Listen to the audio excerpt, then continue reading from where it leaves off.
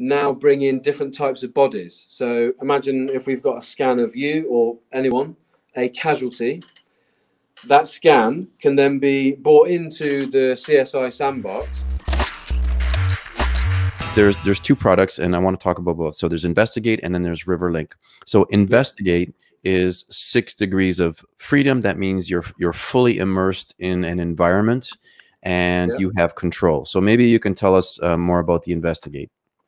Yeah. So at the moment, Investigate is on Vive and Oculus, so we can we've been dishing out uh, demo licenses to people that want to try it.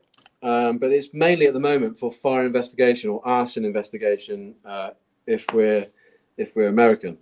Um, but the the thing that it is doing is allowing you to pick up things in the space and interact with anything in the scene. And we're using a Vive at the moment, but obviously we can see a point in the future we're going to be able to use the the inside out tracking headsets.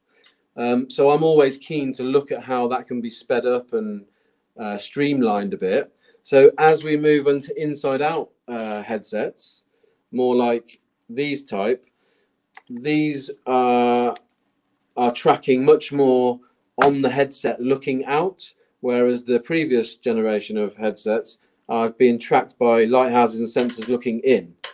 Um, so this eliminates one part of the process for installation that I think is going to be really beneficial. But with crime scene, I've spent about two years in the crime scene world working out how they do their accreditation and crime scene training and um, all the things involved in that. and they really need to be able to dress the scene themselves, place objects in a crime scene for training themselves. So the thing that I can see happening with that, we're going to be releasing next year two two experiences first. One pre-built crime scene that's already made, and one sandbox crime scene where you can move things around. But we've got one, well, a few cool features.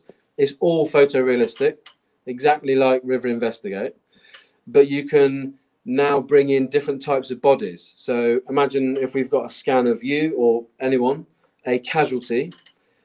That scan can then be brought into the CSI sandbox. I can place the body on the sofa, and now I can grab the arm, move the arm around, and place the arm and hand and neck and head exactly the position I want. I can lay blood, weapons, and drip these things into a photorealistic scene and then press save. You know, so you're saving that scenario. You lay all the items from an iPad into the scene, however you'd like them to be.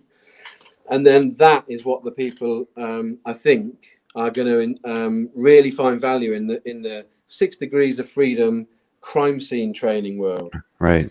Because at the moment they have uh, crime houses, as you know. People, the police have these houses where they have to take people to the house and dress the scene. And one of the accreditation requirements, if you like, is that every time that people do this training, it needs to be consistent to the training that happened before. We can't be accrediting people on completely different scenarios. So one thing virtual reality does is allow you to do that 100% accurately.